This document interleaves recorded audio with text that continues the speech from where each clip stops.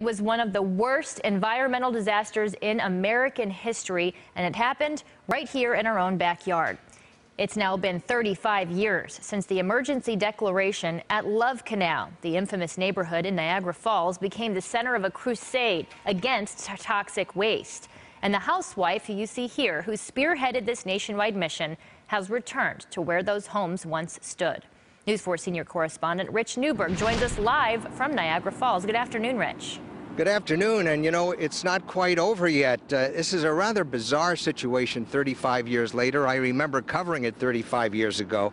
Um, after the disaster, people were told that the chemicals were contained and it was safe to move back here, and hundreds of families did just that.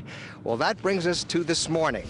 This morning, Lois Gibbs, who led the three-year fight to have residents evacuated from the Love Canal neighborhood, returned for a walking tour of the area, where some 20,000 tons of toxic waste were buried. 35 years ago, it was a battle that led to a state of emergency here at Love Canal and the eventual evacuation of over 800 families.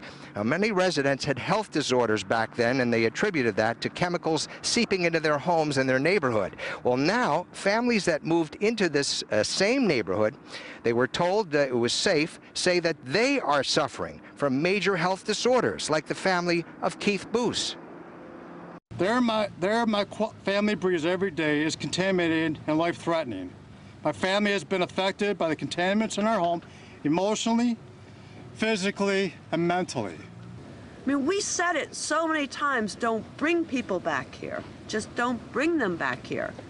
And, and they did. And they bamboozled them into believing it was safe and gave them the data and God knows what else these folks got.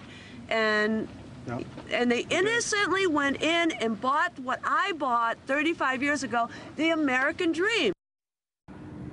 So now there's a $113 million lawsuit filed claiming that Love Canal may be leaking and harming people here.